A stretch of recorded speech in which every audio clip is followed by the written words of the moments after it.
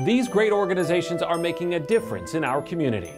In one year, Tarrant Area Food Bank handles more than 20 million pounds of food for people in need. Please help us feed the hungry. The Child Study Center provides diagnostic and treatment services to children with developmental disabilities. Every day, Meals on Wheels delivers thousands of meals to our homebound and disabled neighbors. For 45 great ways to help, visit thegreatestgiftcatalogever.org. In the spirit of Texas.